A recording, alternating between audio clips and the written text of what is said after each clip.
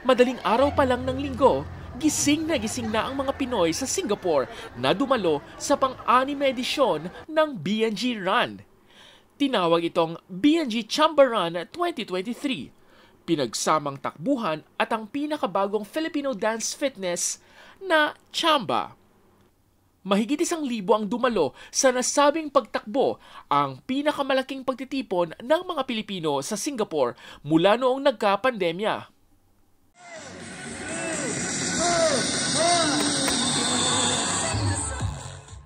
Dinaluhan ito ng mga opisyales ng Embahada ng Pilipinas sa Singapore sa pangunguna ni Consul General Dr. Emmanuel Fernandez.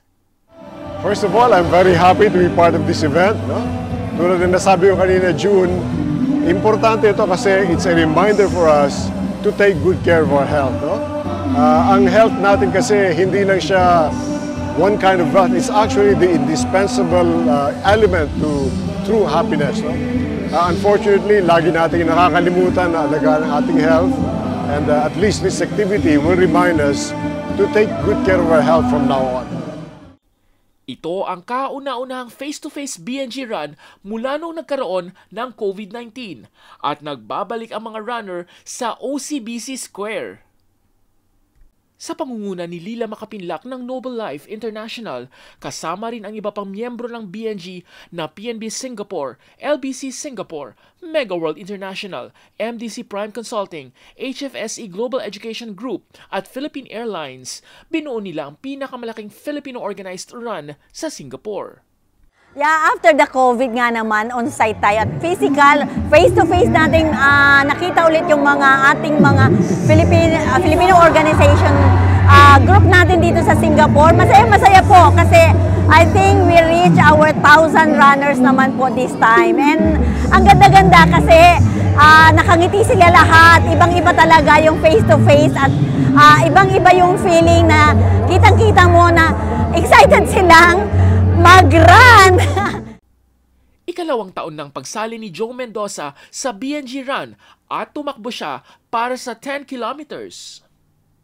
Uh, kasi kala ko di ko matatapos pero At pati mga dayuhan, hindi rin nagpahuli sa takbuhan, kagaya ni na Derek na nagmula pa sa Ireland at Corina mula sa Australia.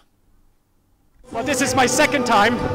Uh, I love it. Uh, it's a pity we couldn't do it over COVID, but uh, it's great to see everyone out again. I really enjoyed it. It's good pace. Uh, lots of smiling faces out there, which kept us going. So, uh, full credit to Filipino community and the Filipino embassy and everybody involved. Well done. Organism. We love so this is great to do in the morning. Umabot din sa finish line ang mga tumakbo ng 3K, 5K at 10K na inabutan ng mga medalya.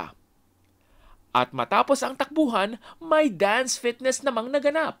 Dinaluhan ito ng gumawa ng chamba, ang choreographer, director at chamba master guru na si Mel Feliciano. It's a mixture of cha-cha, modern groove, and samba, di ba? Ah, uh, 2016 pa lang po, may Feliciano na yung chamba ngayon. Tangkalikin niya po ang chamba namin. It's a new dance fitness na makakatulong sa inyo. And po sa mga senior, maganda po para sa inyo to.